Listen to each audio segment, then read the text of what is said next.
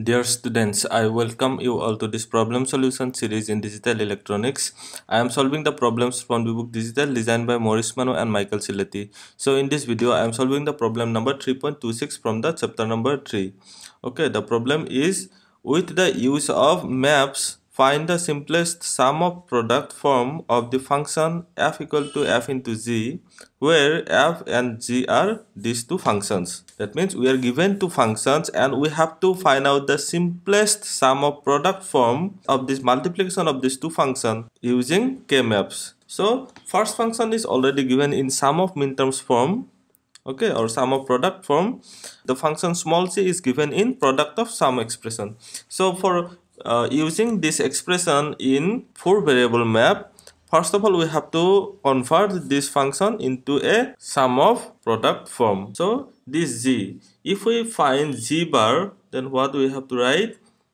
a plus b plus c bar plus d bar whole into b bar plus c bar plus d whole into a bar plus c plus d bar okay whole complement because we have taken complement of g bar. So this is a b c whole bar. So using de morgan's theorem what we can write? We can write it as a bar plus b bar plus c bar.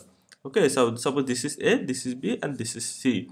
Okay so we can write it as a plus b plus c bar plus d bar whole bar plus b bar plus c bar plus d whole bar plus a bar or a complement plus c plus d complement whole complement.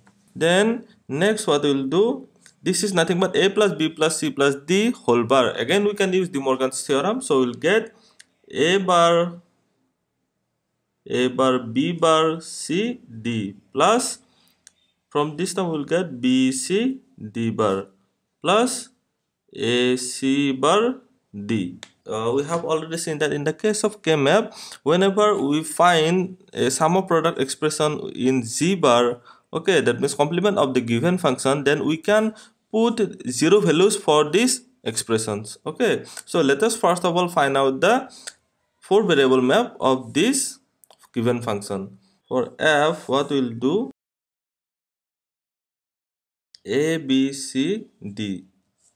Okay we have 0 0 0 1 1 1 1 0 0 0 0 1 1 1 1 0 okay so this is nothing but a these two column these two row are b this third and the fourth column are c and this second and the third column is small d. Here we will put the value these values f equal to this much. So first time we have a b c bar AB is this row and C bar means first and the second column. So we'll put here one values because this is given in f function. It is not the f complement so we'll directly put one values. Second term is C bar D. C bar D is this column. Okay, C bar D is this column. So we have to put here one values. Okay, then we have A bar C, A bar C, D bar. C D bar okay c d bar is this fourth column and we have a bar. So 1 and 1 here. Then we have b bar c d bar. So c d bar is this fourth column and b bar is first and the fourth. So first is already occupied so we'll put here 1 okay so this is the four variable map for the given function f. And for small g we will make the four variable map here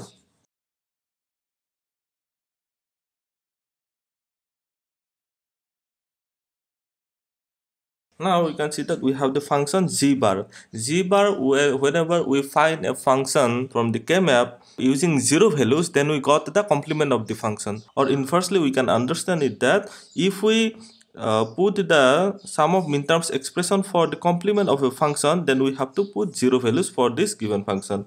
Okay so a bar b bar c d. A bar b bar is this first row and c d is this third column. Okay first row third column. So we'll put here 0 then we have b c d bar. C d bar. C d bar means this fourth column and b. B means the second and the third. Okay so we'll put here zero values. Why we are putting zero values? Because it is z complement.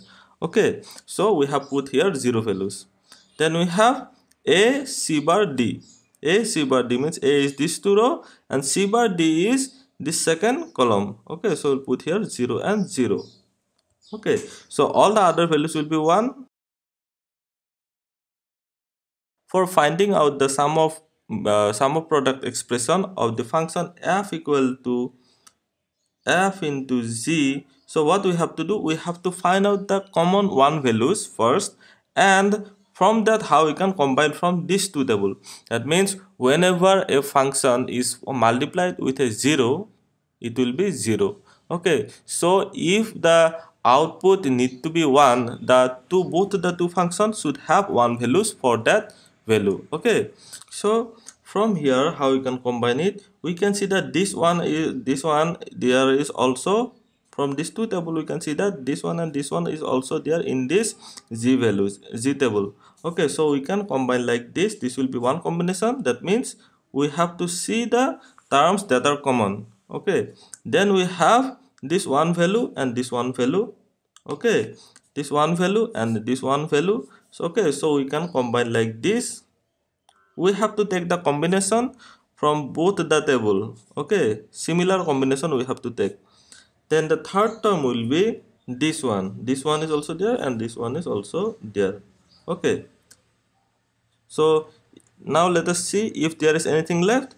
Here we can see that this one is not there. One zero okay they will cancel out. So this one and the here we have zero values. Okay these other remaining are zero. Okay so this 1 and 0 it will cancel out. Okay this 0 0 it is 1 1 it will cancel out. Okay it is one zero one and one zero so they will also cancel out. Okay we have 1 1 0 0 so they will cancel out. So now directly we can write this capital F as these values this sum of min term expression from this two tables the common min term expression. Okay so from this term we will get it is a b c bar D bar. A B C bar D bar. Okay plus from this term what we'll get it is A bar B A bar C bar D. A bar C bar D. Plus from this term what we'll get we'll get B bar okay and C D bar B bar C D bar okay so this is the simplified sum of min term expression so thank you for watching. If you have any question, please put it in the comment section below. Also like, share and subscribe to my channel. Thank you.